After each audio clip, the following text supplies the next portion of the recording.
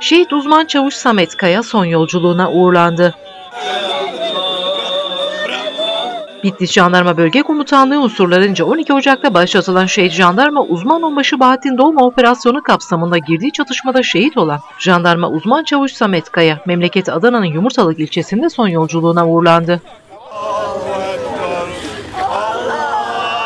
Şehidin naaşı karayoluyla Yumurtalık ilçesi Zeytinbeli mahallesindeki baba evine getirildi. Helallik alındığı sırada şehidin eşi Leyla ve kız kardeşi Burcu Kaya cenaze aracına çıkarak üzerinde şehidin mavi beresi bulunan tabuta sarıldı.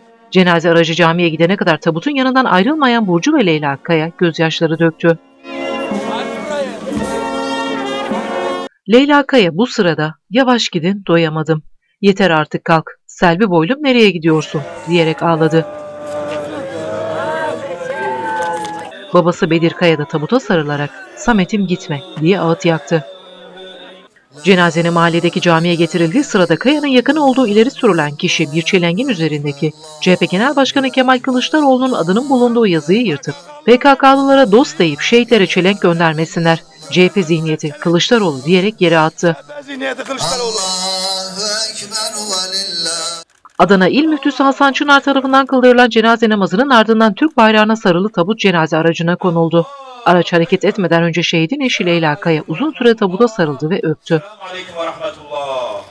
Leyla ve Burcu Kaya camiden mezarlığa gidene kadar da araçta tabuta sarılarak yolculuk yaptı.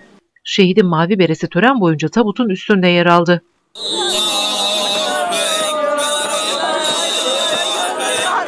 Şehit Kaya'nın cenazesi gözyaşlarıyla toprağa verildi.